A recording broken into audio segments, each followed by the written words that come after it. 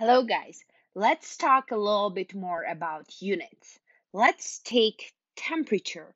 So, in case of temperature, we are going to use either Celsius or Kelvin in scientific measurements. So, Celsius is based on the freezing point and the boiling point of water.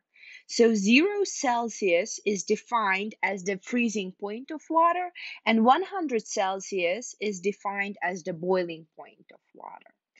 Now, Kelvin is actually based on the properties of gases, and we are going to talk about it later in general chemistry. What you have to know about Kelvin temperatures is the lowest possible Kelvin temperature is 0 K. So you cannot have negative Kelvin temperatures. And this temperature is actually called absolute zero. You also have to know that we can never achieve this temperature experimentally. It's really interesting. So at zero Kelvin, all the molecules, all the atoms basically stop moving. So when I think about zero Kelvin temperature or absolute zero, I imagine the Flash, the fastest man alive, running really, really fast, and everything is just st- still around him. Okay? So that is kind of absolute zero. Now, how to convert between Kelvin temperatures and Celsius temperatures? From Kelvin temperatures, you simply have to take the degree in Celsius and add to it 273.15. So now let's take a look at the question.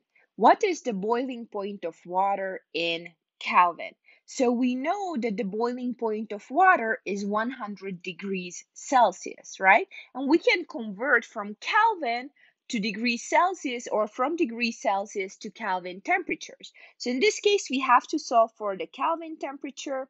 We know that the boiling point is 100 degrees Celsius and we have to add to it 273.15. And so the boiling point of water in Kelvin is 373.15 kelvins. Okay, so that's pretty simple. Let's talk about density. So density is a physical property of a substance. Okay, to calculate density, you have to take the mass and divide it by the volume. Let's do a couple of calculations and let's take a look at the unit of density.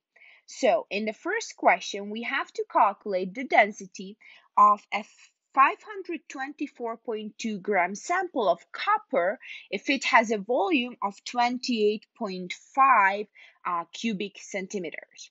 So now I simply take the density formula, right? Density. It equals mass over volume. Do I have the mass given? Yes, I do. So I know that this is the mass.